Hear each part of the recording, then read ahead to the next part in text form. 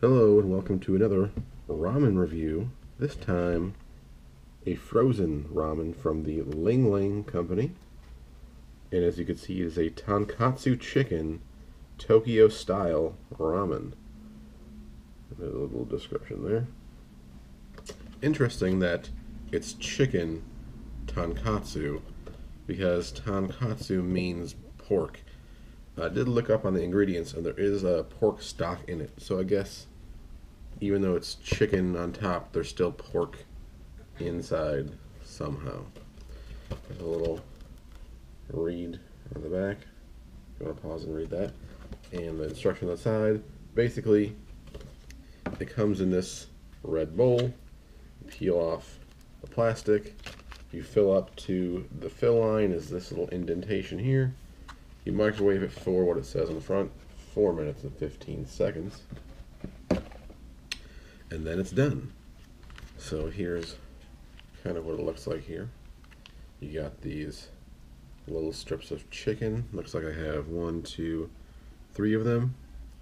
There's some broccoli, some corn and carrots, and some red peppers, red bell peppers. Al just fell over. Let me fix Al. Can't eat without him standing up straight. Um, there's also some uh, cut up green onion. You can see that? Little pieces of green onion there.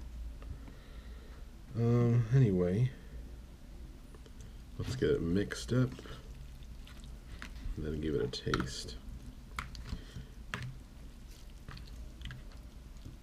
So normally I do my ramen on the stove top, but this one only had microwave instructions. I'm hoping this one is better than the other one I got from Walmart, the Sam's Choice one, which was kind of disappointing. Alright, I got it mixed up. Let's take a bite out of this. We'll just start with just a regular bite of noodles. Here we go.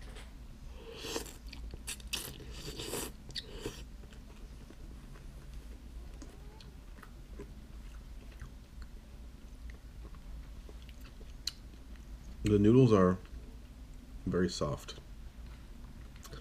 They're not like mushy like the Sam's Choice one ones were, but uh, still like there's not there's no like bite to them.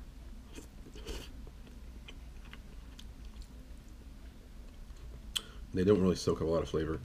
Let's try a piece of chicken.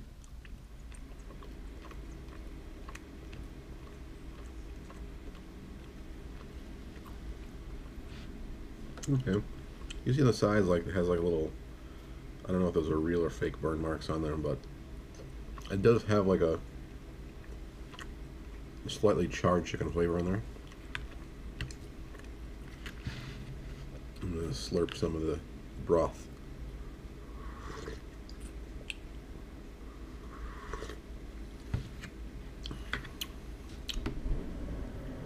Well, I've had a lot of tonkatsu broth before, and this does not taste like any of them I've had. Look at this list of ingredients. It's a lot of ingredients for a bowl of ramen. Um, let me see if I can get a bite with a little bit of everything in there. Some carrot and corn and a piece of chicken.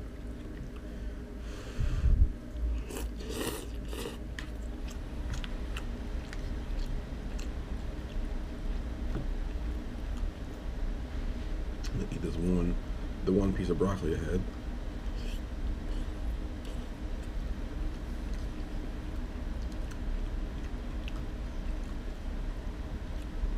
Yep. Okay.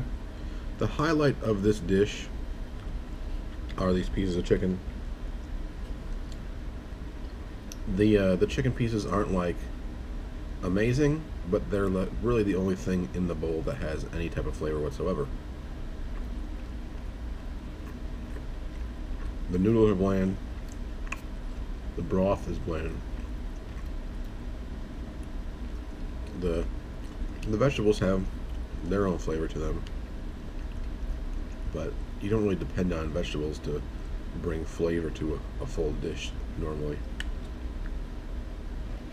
Kind of disappointed with this one as well.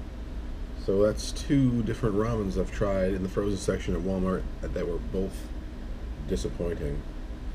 Uh, this one also came in a, a beef variety as well, but I'm not going to be hurrying up to try that one anytime soon. Anyway, I'm going to give the, the Ling Ling Chicken Tonkatsu Tokyo style ramen a 6 out of 10. Disappointing, lacking in flavor. The only real savior to the dish at all was the chicken. Um, anyway, that's it for this video. Hope you guys liked it. Hope you guys uh, give it a thumbs up, subscribe to my channel, all those other great things. And as always, enjoy yourselves, guys. Bye.